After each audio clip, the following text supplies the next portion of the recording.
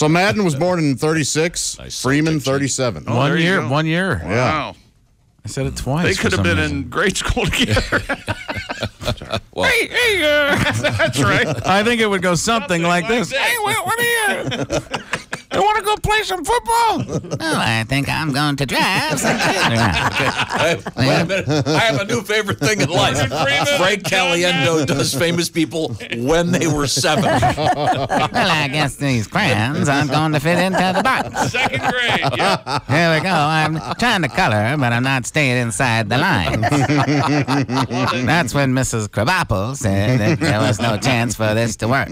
Well, uh, on my way, I was at recess this morning. Had a lot of fun. Went down the slide a couple times. Little Maybe- Morgan, can little Morgan, can you narrate the class play this year? Well, that's when Sally made her way to the stage.